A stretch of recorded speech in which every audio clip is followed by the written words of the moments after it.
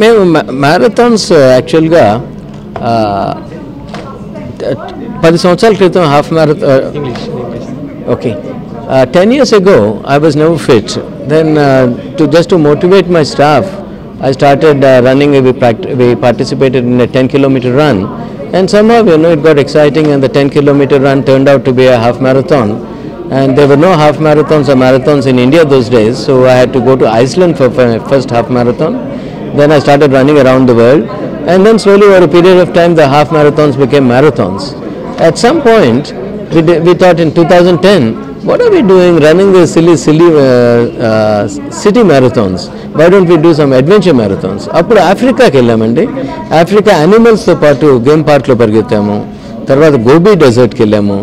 తర్వాత ఆస్ట్రేలియన్ అవుట్బ్యాక్లో పరిగెత్తాము. అట్లాగే అంటార్క్టికా వెళ్ళాము. Then we went North Pole ఇట్లా అడ్వెంచర్ మ్యారథాన్స్ చేస్తూ సడన్లీ వీ రియలైజ్డ్ అన్ని ఖండాల్లో పరిగెత్తడం మొదలుపెట్టాము. ఇంకొకటి రెండు ఖండాలు చేసేస్తే ఏడు ఖండాలు అయిపోతుందని. సో ఆ ఇయర్లో ఏడు నెలల్లో ఏడు ఖండాలు చేశాము. ఏడు ఖండాల్లో మ్యారథాన్స్ కం ఫుల్ మ్యారథాన్స్ కంప్లీట్ చేశాము. ఆ తర్వాత పనిలో పడిపోయాము. ఇంకా ఏముంటుందో ఛాలెంజ్ అని ఆలోచిస్తూ ఉన్నాను. ఈ ఛాలెంజెస్ ఆలోచిస్తూ ఉన్నప్పుడు నాకు అరవై ఏళ్ళు వచ్చిన రోజున ఈ ఐడియా వచ్చింది. ఏడు రోజుల్లో ఏడు ఖండాలు ఎందుకు పరిగె అప్పుడు ఏడు ఏడు నెలల్లో పరిగెత్తాము. ఈరోజు ఏడు రోజుల్లో పరిగెడదామన్న ఐడియా వచ్చింది. సో అప్పటి నుంచి అక్టోబర్ సెకండ్ నుంచి దానికోసం వర్కౌట్ చేసి ఫ్రెండ్స్తో మాట్లాడి ఈ ఆర్గన ఈ మ్యారథాన్ ఆర్గనైజ్ చేయించి ఫ్రెండ్స్ చేత పన్నెండు మంది వెళ్ళి పరిగెత్తామండి.